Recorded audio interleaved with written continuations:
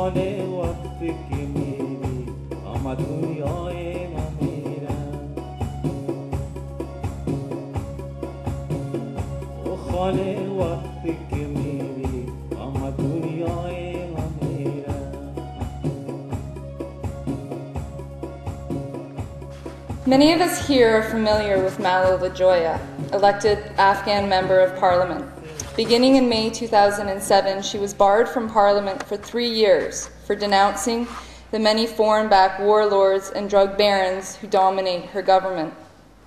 At the same time, her diplomatic passport was taken away, and she was also banned from appearing in the media within Afghanistan.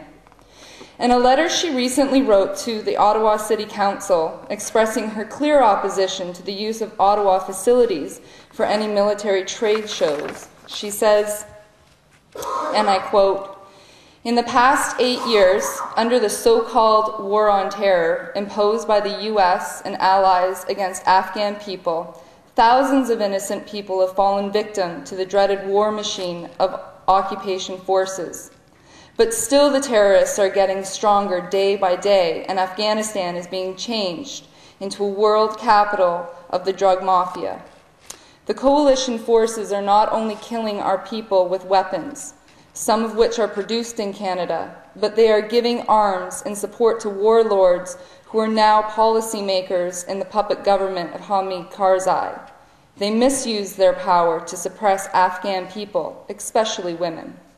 And she continues You may have heard of the USA bombardments of civilians in Afghanistan and the tragedies caused by it.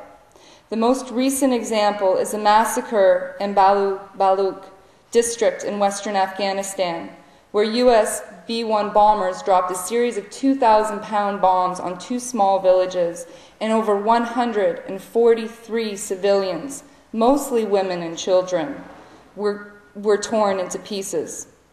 Many mournful families never found their dead bodies of their loved ones as they were burnt in the flames of the bombs.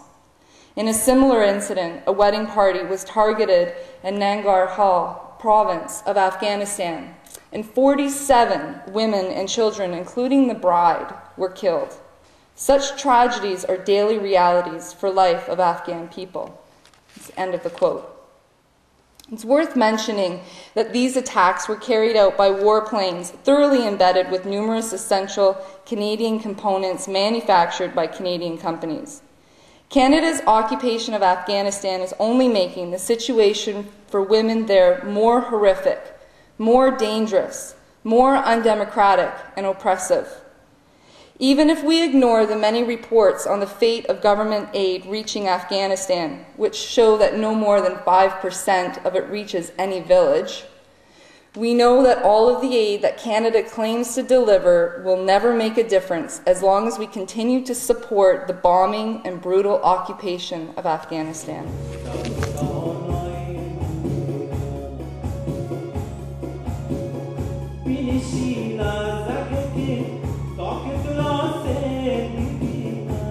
I want to offer a simple fact and come back to it over and over again during this talk to remind us why we're all here, why we all care. I think we can all agree that when a child dies, it is a tragedy, right? A tragedy, no matter under what circumstances, no matter how or when or where. The death of a child is a horror, especially for its parents, but also the surrounding community and for all of us. And if we have the power to stop more deaths of children, we must do something about it. Can we all agree on that? Do we agree that that's true? If we all have the power to stop the deaths of more children, we must use that power. We are killing the children of Afghanistan, plain and simple. We are maiming them. We are hurting them by killing and maiming their parents, their relatives, their siblings. You and I have the blood of Afghan children on our hands, and I don't say that lightly. Children who could have had a future, but for our government's actions in snuffing out that future or distorting it beyond imagination. It's really as simple as that. And the perversity of our government's propaganda, right, is that we are expected to support the war in Afghanistan in order to save these children and women. What has our so called help achieved in nearly eight years? And how are we exactly uh, responsible for the blood of Afghan children? How have we made the lives of children worse? The bombing raids and detentions, if they don't actually kill the people involved, have caused massive displacement. We're talking about thousands, perhaps hundreds of thousands, uh, and really, uh, if you count Pakistan as well, millions people displaced, both internally and externally. The United Nations High Commission for Refugees just released their latest statistic, and they found that one in four refugees across the world today is Afghan. One in four refugees across the world today is Afghan.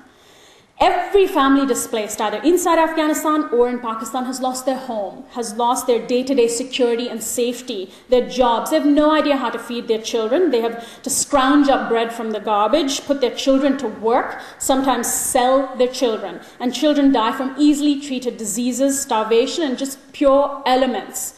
Have the governments of Afghan of NATO uh, made adequate arrangements for these refugees that are being created as a result of our bombs? Have they made adequate arrangements to feed, clothe, to shelter these refugees?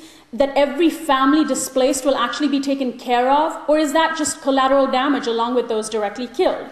Uh, no, of course not. We just drop the bombs, we raid the villages, we walk away. Occasionally, we might build a well uh, or give some token food packages to pat ourselves on the back and convince ourselves that we're really there to help Afghan people and Afghan children. I think they can do without that kind of help. Bush, of course, uh, in his magnanimity, installed a puppet president in Afghanistan who was to bring democracy to the Afghan people so that the Afghan people themselves would save themselves, would liberate themselves. Of course, Hamid Karzai is very much seen as a puppet president by most Afghans, and his actions right from the very start, right from when he was elected, showed that he did not have the interests of the Afghan people at heart. He installed the most notorious warlords in Afghanistan who have a history of killing Afghan children, raping Afghan women, and are now in power because we, collectively, we made it happen. So let's look at who these men are. We must look at their faces. We must know who they are. These are the men, not the one in the middle, but the one surrounding him, who are sitting in parliament today. In the middle is a warlord by the name of Faryadi Zardad. Uh, surrounding him are very notorious warlords Abdul Rashid Dostum, Yunus Kanuni, Ismail Khan. What's the difference between the men in the ring and the man in the center? Not much in terms of their crimes. Zardad was famous for mass rapes, tortures, and murders in the uh, 80s and 90s. He looted and robbed innocent people, including uh, killing children in the early to mid 90s, in particular when Afghanistan was being overrun by, by these men in the wake of the Soviet troop withdrawal. And his colleague and enemy, Abdul Rashid Dostum, was equally notorious for murder, rape, and mayhem. The only difference between the man in the center and the man surrounding them is that Zardad is in a British prison for crimes committed while Abdul Rashid Dostum is a member of the Afghan government. Zardad made the mistake of escaping to Britain during the Taliban takeover of the, takeover of the country in the 1990s.